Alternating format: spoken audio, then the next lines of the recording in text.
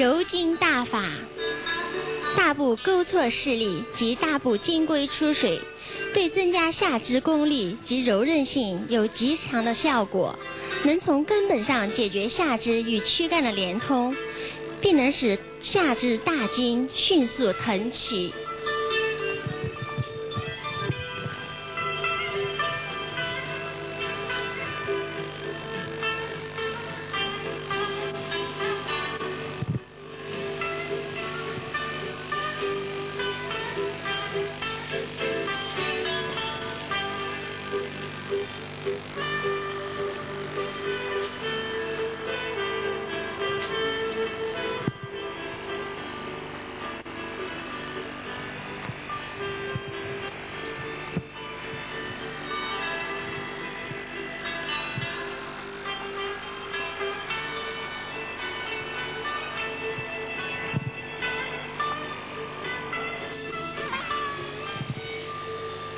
推手训练。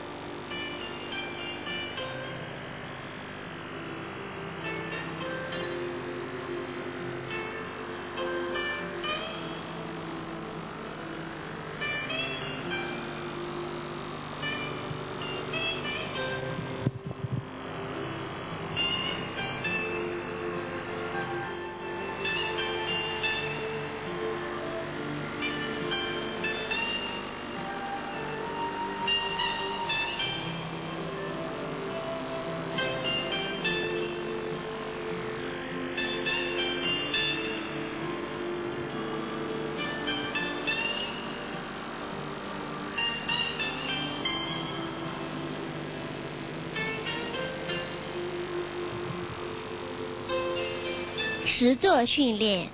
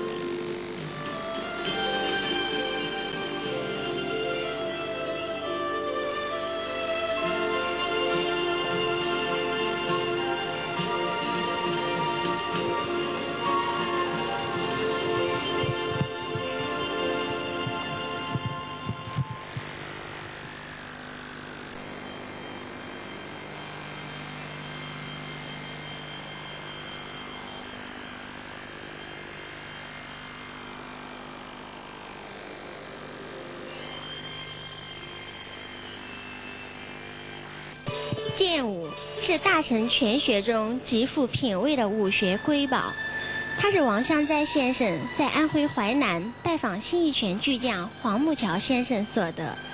而剑舞的来源，则是黄先生游历敦煌石窟时，依据墙壁彩绘中的古典舞姿模拟而出，同时结合新义拳之内功心法加以贯通。香斋先生所传之剑舞，作为武学中特有的运动形式。打破了原传实战拳法的动态结构方式，采用四形的仿生机制和动作特点，要求操习时动如山岳横移，静如深闺处女，轻如微风拂面，重视旱地惊雷，缓如春蚕吐丝，急如离弦之间的矛盾错综结合。剑舞以颈椎领起全身。双脚在运动中利用波浪弧线轨迹克服地心引力，同时拔高身形，保证下肢的起劲速度。故蓄力时间长，发力时间短，有利于体会自身与大气压的相互呼应，寻求最佳的动态平衡条件。